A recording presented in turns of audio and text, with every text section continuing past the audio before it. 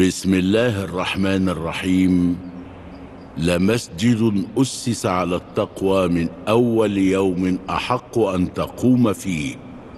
فيه رجال يحبون أن يتطهروا والله يحب المتطهرين. صدق الله العظيم. أنت عارف طبعا إني ذكي أكتر منهم وحيل كتير يا فلتة. صح ولا إيه.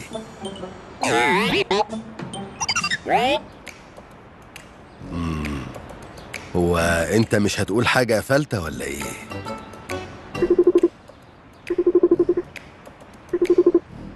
آه فلتة هو أنت ساكت كده ليه؟ ده أنت حتى ما بتتحركش. لا لا. إيه ده؟ أنت بتتهز كده ليه؟ إيه ده؟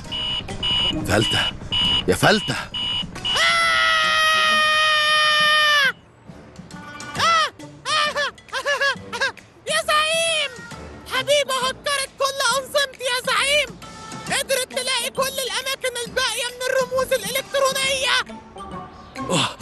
انت بتقول إيه؟ السلام عليكم يا بائع البهجة والألوان. وعليكم السلام ورحمة الله وبركاته. أهلا بيكم في محل المتواضع. قولوا لي بقى أساعدكم إزاي؟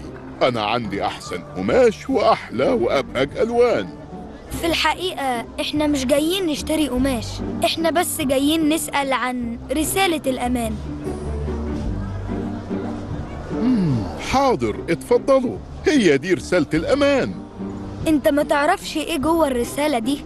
أو مين اداهالك لا لا أنا ما أعرفش حاجة خالص لأن دي أمانة. هو ادهاني واحد وقال لي خليها معاك أمانة. ولما حد يجي لك يقول لك اديني رسالة الأمان اديها له على طول. وانتوا طلبتوها وأنا أهو بأدي الأمانة واديتها لكم. ماشي شكرا لحضرتك. روحوا الصحراء واطلبوا الأمان. هناك وسط الرملة هتلاقوا الحياة. أوه أوه لغز جديد. هو بيطلب مننا نروح الصحراء وبعدين ندور عن مكان آمن فيه حياة والحياة بتكون موجودة مع وجود المية. أظن كده إنه يقصد الواحة. بالظبط يا شروق. الواحة بتكون في الصحراء وفيها عيون مية وبيكون فيها حياة. مظبوط تمام. هي الواحة. أيوة. وقدرت أهزمك يا غلباوي وعرفت أماكن الرموز الإلكترونية. طبعا قاعد دلوقتي مش مصدق نفسه. متحطم يا عيني ومتنكد. أما أكلم سيف أفرحه بقى.